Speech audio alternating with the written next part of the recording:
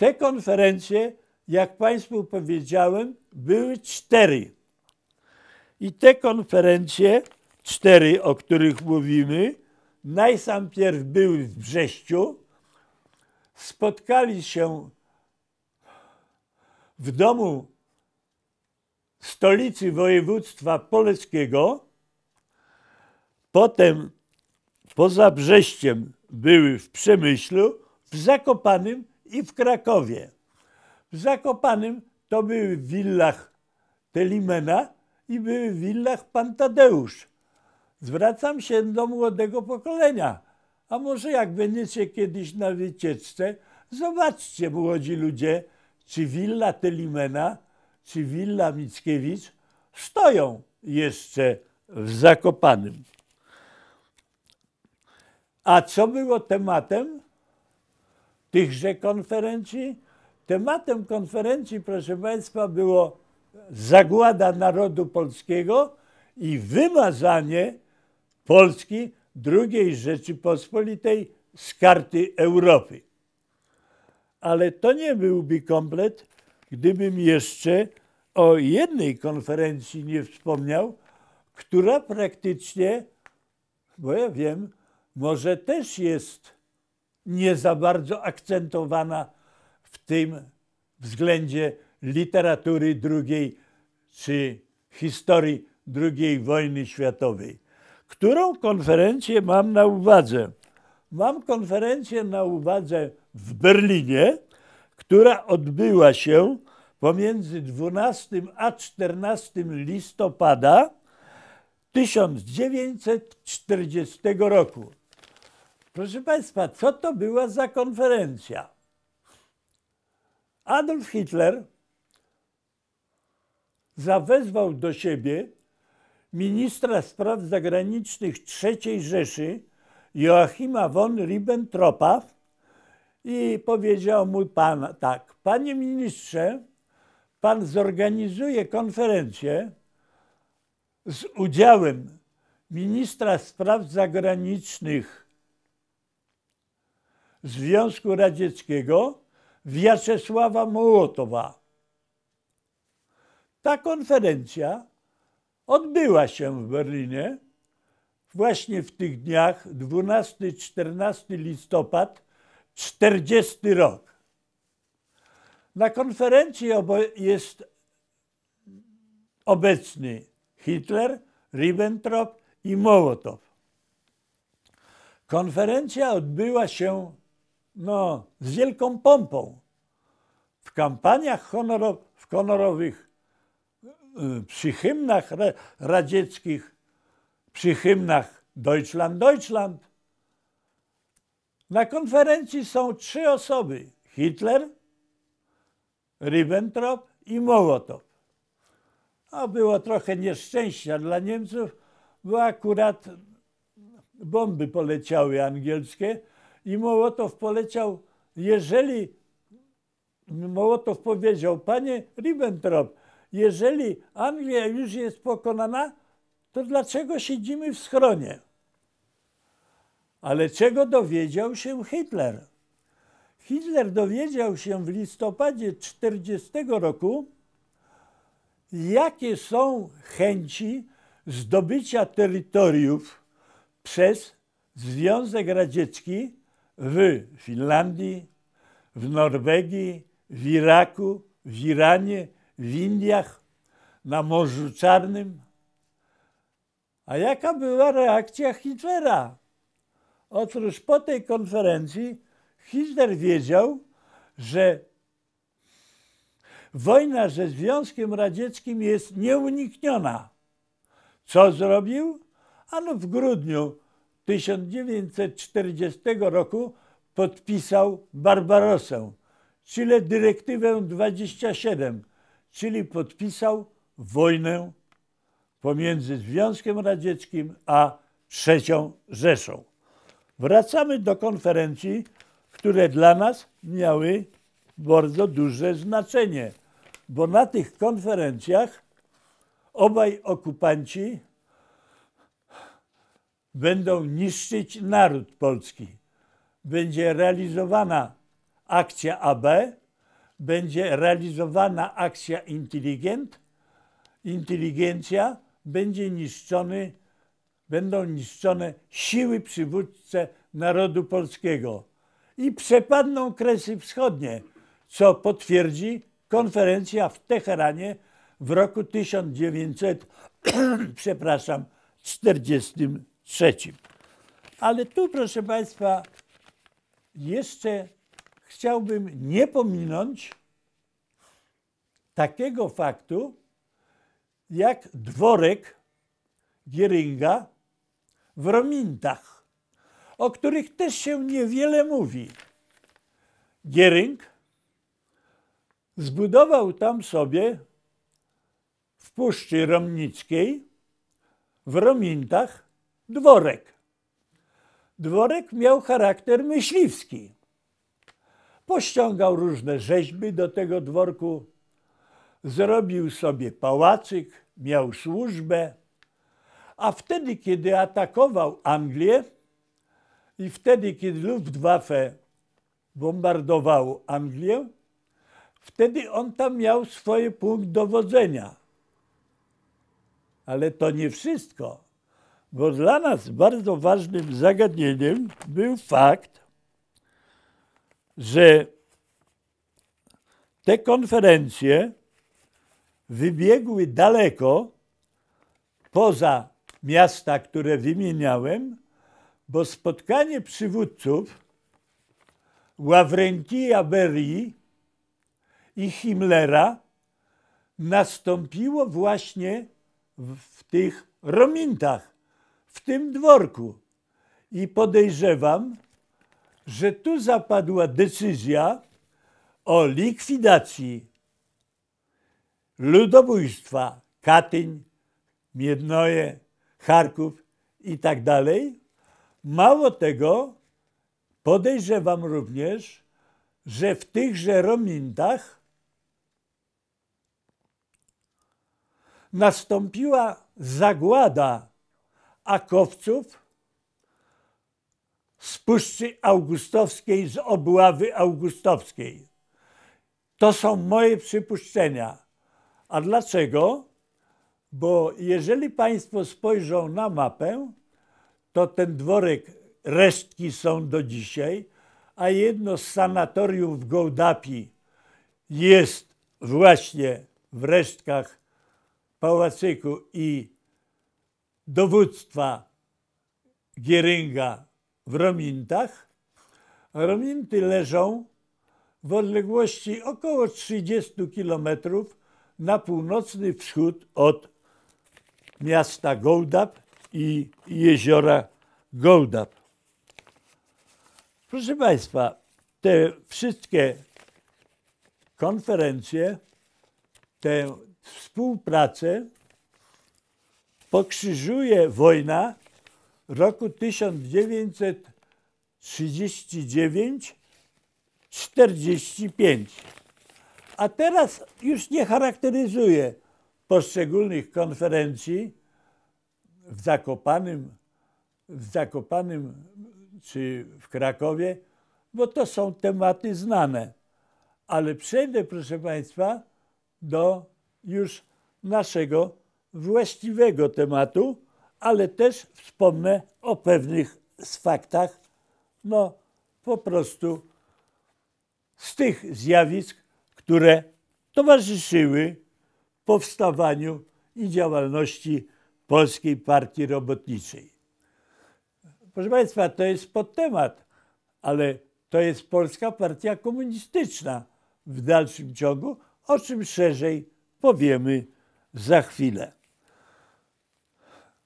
Służby specjalne Związku Radzieckiego rozpracowują powstałą drugą Rzeczypospolitą od 1918 roku. A ta współpraca nabrała bardzo różowych barw w latach dwudziestych ubiegłego wieku, bo druga Rzeczypospolita jest rozpracowywana przez radzieckie służby specjalne we współpracy z Komunistyczną Partią Polski. Komunistyczna Partia Polski prowadzi nielegalny wywiad na terenie II Rzeczypospolitej i wszystkie uzyskane informacje przekazuje służbom specjalnym Związku Radzieckiego. Ale te wszystkie poczynania KPP, trzecia międzynarodówka, czyli Komintern, pokrzyżuje wojna 1939-1945. I tu w czasie okupacji na ziemiach polskich rodzą się odpowiednie służby Polski niepodległej. Rodzą się służby wywiadu, dywersji i kontrwywiadu. Proszę Państwa, te służby są o różnym charakterze i o różnym zabarwieniu politycznym. Te służby jedne powstają, inne zwijają się albo muszą się zwinąć na skutek aresztowań, albo przez Sowietów, albo przez czwarty urząd Głównego Urzędu Bezpieczeństwa Rzeszy, czyli przez Gestapo, albo przez SD. Te służby, proszę Państwa, niektóre się powiększają, niektóre się łączą. Nieodłączną częścią organizacji podziemnych, które powstają, są te właśnie służby o różnym zabarwieniu i o różnym charakterze. I teraz, zanim jeszcze przejdę do Polskiej Partii Robotniczej, spróbuję Państwu przedstawić chronologicznie, jak nasze organizacje konspiracji niepodległej Polski i nie tylko powstawały w Warszawie i na terenie naszego kraju. Spróbuję Państwu to przedstawić chronologicznie. Proszę Państwa, zaczniemy od roku 1939. Wrzesień. Pomiędzy dobą z 26 na 27 września nocą powstaje SZP, powstaje Służba Zwycięstwu Polski. Proszę Państwa, jest to organizacja krajowa. Powstała ona w Warszawie. Powstała ona, tak jak Państwu powiedziałem, z 26 na 27 września i ona ma od razu wywiad i kontrwywiad i we wrześniu powstają również szare szeregi. Proszę Państwa, podobna organizacja powstaje również, ale już w październiku na terenie Francji. Na we wrześniu jeszcze powstaje tajna organizacja wojskowa, ma wywiad. Na przełomie września i października powstaje Komenda Obrońców Polski. Ma służby specjalne. W październiku powstaje organizacja konspiracyjna, Narodowa Organizacja Wojskowa ma wywiad. I proszę Państwa, na, w październiku powstaje organizacja Wilki, ma swój wywiad, ale tutaj, proszę Państwa, chciałbym, żebyście Państwo, będąc na spacerze na ulicy Powsińskiej, w Forcie 19, kiedy Państwo będziecie zwiedzali Muzeum Technik Wojskowych, ta nazwa jest dla mnie trochę dziwna, a przedtem tam było Muzeum Katyńskie, oddział Muzeum Katyńskiego. Teraz już tam Muzeum Katyńskiego nie ma. Idąc w kierunku Wilanowa, po lewej stronie Państwo macie Park Szczubełka. Też warto zobaczyć. Ale po prawej stronie na murze jest tablica związana z organizacją wojskową Wilki, z wywiadem, bo szefem wywiadu tej organizacji był polski olimpijczyk, złoty medalista z Los Angeles, był y, Kusociński Janusz. Proszę Państwa, on tam miał KM i krzyczał ustawicznie amunicja i bronił Sadyby od wejścia Niemców. Organizacja Wilki została zdradzona przez Niemca o polskim nazwisku. Proszę pana, w listopadzie powstaje TAP w 1939 roku. Tajna Armia Polska. Tajna Armia Polska ma wywiad i kontrwywiad. Również w tym miesiącu, w listopadzie, powstaje Związek Jaszczurczy, a w grudniu powstaje organizacja Polska Organizacja Zbrojna i powstaje Miecz i Pług. Ma wywiad, ale Miecz i Pług, tę organizację należy omówić osobno. Tyle w roku 1939 od września do grudnia. W roku 40 to są dwa miesiące. Kwiecień, powstaje Związek Odwetu, jest tu delegatura rządu na kraj, ma służby specjalne, ale w czerwcu jest już w 40 roku ZWZ, Związek Walki Zbrojnej i ma wywiad i kontrwywiad, a w grudniu Konfederacja Narodu ma wywiad.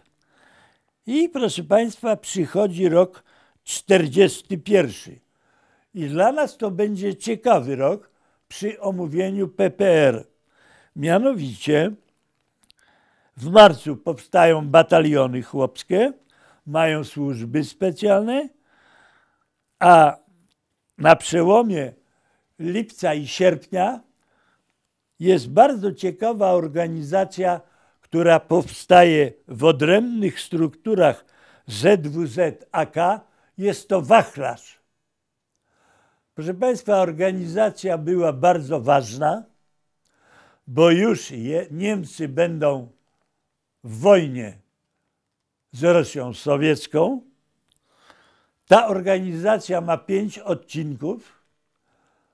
Cały fundusz Armii Krajowej liczy 8 milionów dolarów, z czego 4 miliony zostaną przeznaczone na wachlarz. Proszę Państwa, wachlarz będzie miał za zadanie głęboki wywiad na pięciu odcinkach, dywersję na dalekich, głębokich polskich kresach, na terenach Związku Radzieckiego, sięga po Charków, Kursk, Moskwę, Odessę, Petersburg, Rygę.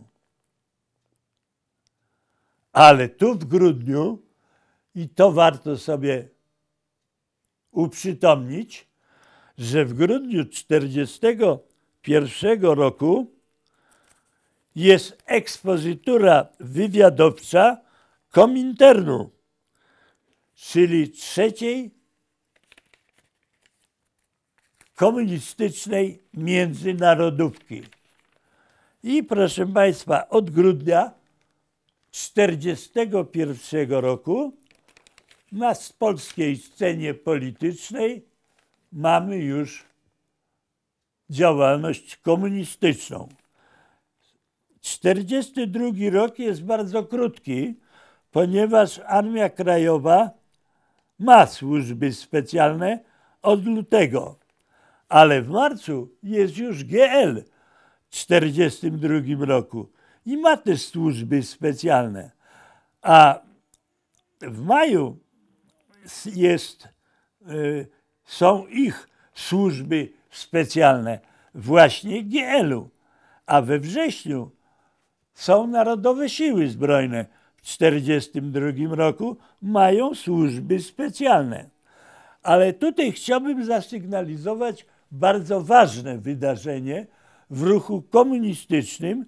Otóż na 1942 roku, pomiędzy sierpniem a wrześniem, z inicjatywy Kominternu są służby specjalne i wywiadowcze konspiracyjne zakonspirowane już w Komitecie Centralnym Polskiej Partii Robotniczej.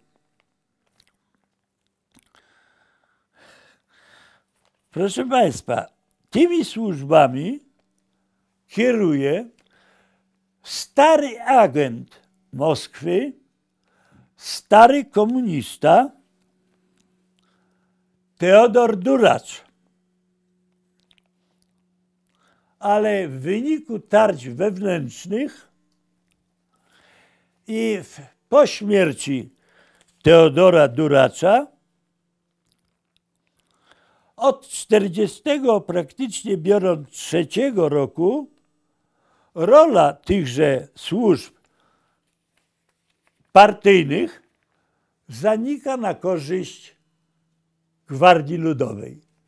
I ostatni rok, który chciałbym z Państwem krótko scharakteryzować, to jest rok 44. Proszę Państwa, tutaj zasygnalizowałbym Państwu z lekkim wstrętem, wtrętem, że w kwietniu powstaje PAL i ma służby specjalne. Ja w swojej konspiracji, ale to już dygresja, zetknąłem się z przedstawicielem PAL-u, który w pewnym budynku na terenie miasta Warszawy w celi numer 18 w piwnicach siedział ze mną w czasie śledztwa Urzędu Bezpieczeństwa. Mogę już powiedzieć nazwisko. Nazywał się Henryk Mielcarek. Ale Henryk Mielcarek, on był w Palu, wiedział, że niedługo by, będzie, wyjdzie i nie będzie miał procesu. Skąd on to wiedział, nie wiem. Mieszkał w Warszawie na Czerniakowie na ulicy Ludnej. Ponieważ moja matka, kiedy siedziałem w śledztwie pół roku, nie wiedziała, gdzie ja jestem, a wiedziała, że wiedziałem, że może dostać zawału, ojciec również. Wobec tego zaryzykowałem i powiedziałem Heńkowi, słuchaj, czy zaniesiesz gryps do moich rodziców, że ja jestem w tym budynku? A on mówi, Marek, zaniosę, ale przecież matka twoja nie uwierzy. Kto to ja jestem? Musisz coś napisać. Na czym? Proszę Państwa, udało mi się zorganizować strzęp z opakowania masła. Próbowałem go maksymalnie wytrzeć z tłuszczu i ktoś pod celą miał, a był ze mną razem też pod celą pułkownik Medyński z, drugiej, y, z Armii Polskiej II Rzeczypospolitej i był ze mną pod celą również współpracownik Feliksa Sztama, trener bokserski, który uczył nas boksu, pan Podwatrasiewicz. I zdaje się, że on miał taki ogryzek ołówka, pożyczył mi go i ja na tym skrawku papieru napisano mamo, jestem tu i tu, Marek. A już po wyroku, po pracy w OPWS 1, czyli Ośrodek Pracy Więźniów Siemianowice 1, kiedy o, późno, późno wyszedłem, zapytałem mamy, czy Heniek był. Był. wracamy, proszę Państwa, do tych służb. I ostatnią służbą, którą chciałbym z Państwem omówić, to AL. Ona powstaje, Armia Ludowa w styczniu w 1944 roku, ma służby specjalne. Ale możemy sobie dzisiaj zadać pytanie, co robią władze emigracyjne? To jest 44 rok. Wrace, władze emigracyjne są już w Londynie. A, emigracyjne władze polityczno-wojskowe, które już nie są w Paryżu, a są w, Lon w Londynie, powołały w ramach struktur dochodzenia sztab naczelnego wodza, czyli oddział szósty. Ponadto w ramach Ministerstwa Spraw Wewnętrznych istniał departament polityczny, e, który realizował czynności wywiadowcze. Oprócz tych realizował czynności kontrwywiadowcze, a w sferze politycznej był ukierunkowany na szeroko rozumianą ochronę funkcjonowania rządu.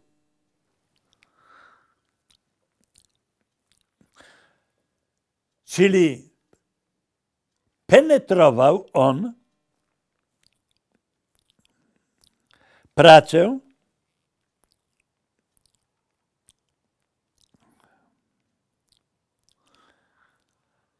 wywiadowczą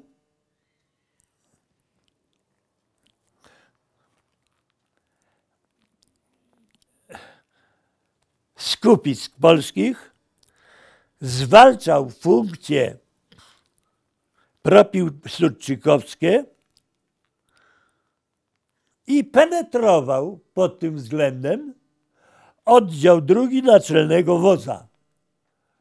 Jego kierownikiem tego oddziału drugiego był inżynier Tadeusz Ulman. Dalej, proszę Państwa, już nie będę charakteryzował, ale Państwo widzą, w jakiej otoczce jest i działa Polska Partia Robotnicza. Ale to jest tylko podtytuł, bo Polska Partia Robotnicza to jest Polska Partia Komunistyczna.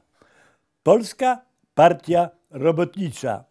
Polska Partia Robotnicza, partia komunistyczna, utworzona 5 stycznia 1942 roku.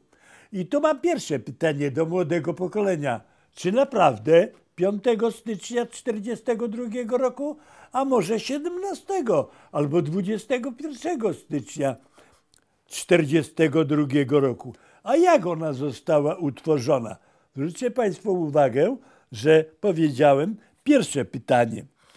Oczywiście ona została utworzona przez przybyłych ze Związku Radzieckiego skoczków spadochronowych. Te, proszę Państwa, to była grupa inicjatywna i ona skakała, ta inicjatywa, ta grupa inicjatywna 28 grudnia 1941 roku na teren Wiązownej. I raz się mówi, że ona skoczyła gdzieś tam, a drugi raz się mówi w literaturze na ten temat, że skakała na lasy we Wiązownej. Proszę Państwa, jeżeli skakała we Wiązownej, to niedawno pokazaliśmy Państwu obroże i właśnie Wiązowna to rejon czwarty obwodu siódmego. To wywiad AK czy Narodowych Sił Zbrojnych nic nie wiedział, że ta grupa skacze? I to jest kolejne pytanie. A dalej, proszę Państwa, mówi się, że jak ta grupa skakała, to druga grupa bo z pierwszą grupą samolot się rozbił pod Wiaźmą. Potem ta grupa była przenoszona do Kusznerenkowa, do Ufy, bo Moskwa była zagrożona. I to druga grupa skakała. I proszę Państwa, jeżeli tak, to jest powiedziane, że zaginął, zaginęła stacja nadawcza radiowa. Proszę Państwa, ci z Państwa, którzy byli kiedyś czy teraz w jednostkach, to i chodzą w mundurze, czy chodzili w mundurze Wojska Polskiego, to wiedzą, że chlebak, jak sama nazwa wskazuje, służy do noszenia granatów. Natomiast plecak służy do tego, żeby schować w nim radiostację. Po co się kit wsadza w historiografii, że radiostacja zginęła, bo była rzucana na spadochronie. Proszę Państwa, nie rzuca się radiostacji na spadochronie, tylko skoczek spadochronowy ma plecak, a w tym plecaku jest radiostacja. Nie wiem, czy to była RBMK, czy inna, ale to nieważne. Więc to jest kit. A poza tym jeden ze skoczków, Marceli Nowotko, złamał sobie nogę. I tu było znowuż dylemat, czy go zostawić, czy go zastrzelić.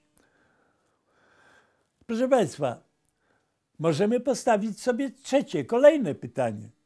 Czy ta grupa, która skakała do Wiązownej, która jest pod okupacją niemiecką, czy ta grupa skakała w próżnię, czy miała komunistyczne zaplecze na terenie miasta? Otóż, proszę Państwa, ta grupa miała zaplecze na terenie miasta i to miała zaplecze komunistyczne. A jakie to było zaplecze dla działalności przyszłej partii robotniczej? Proszę Państwa, pierwszą organizacją to było Z, ZW, Związek Walki Zbrojnej. Proszę Państwa, on powstał tuż, komunistyczny związek, Związek Walki Wyzwoleńczej, przepraszam, Związek Walki Wyzwoleńczej. On powstał już przed 1941 rokiem, przed ich skokiem. Oprócz tego działały tutaj organizacje o zabarwieniu komunistycznym, takie jak Młot i Sierp, Stowarzyszenie Przyjaciół Związku Radzieckiego. Działały tutaj grupa biuletynu radiowego, działał Spartakus, działał Sztandar Wolności i działał proletariat. Te wszystkie grupy, które wymieniłem, jedne większe, drugie mniejsze, a inne były tylko z nazwy, one już działały. Wtedy, kiedy oni skaczą. A kto był autorem nazwy tej partii? Zwróćcie uwagę na datę, którą powiem. Ano, autorem nazwy był towarzysz Stalin. On wezwał do siebie w dniu 21 sierpnia 1941 roku, a więc zwróćcie Państwo uwagę, że to jest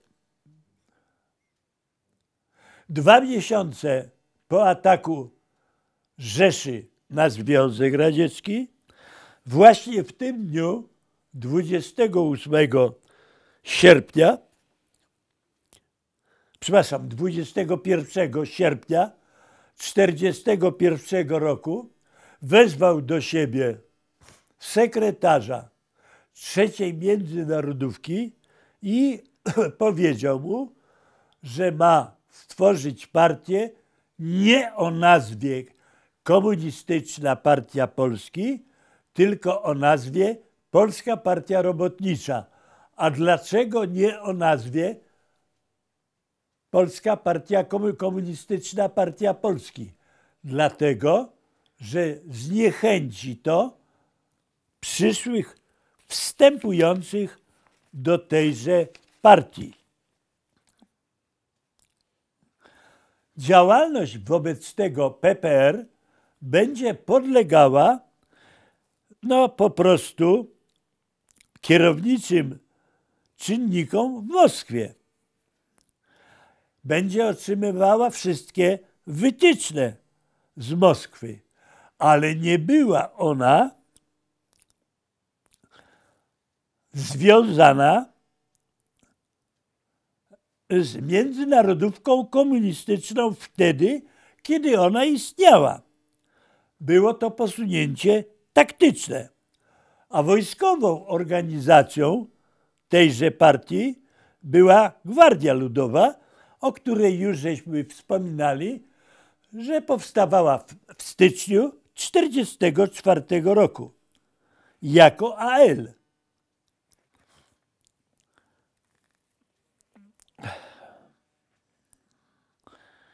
W styczniu 1943 roku PPR powołała do życia organizację młodzieżową ZWM Związek Walki Młodych. Do niedawna jeszcze na Ursynowie była ulica o nazwie ZWM. Czy jest dalej? Wątpię. Zmieniona jest nazwa, a miała również partia swoją gazetę, miała Trybunę Wolności i Trybunę Chłopską. A PPR była również członkiem od 1944 roku Komisji Porozumiewawczej Stronnic Demokratycznych. A od 22 lipca 1944 roku była partią rządzącą w Polsce Lubelskiej, a potem w PRL-u. A czy była ona długo partią rządzącą? Proszę Państwa, przez 50 lat.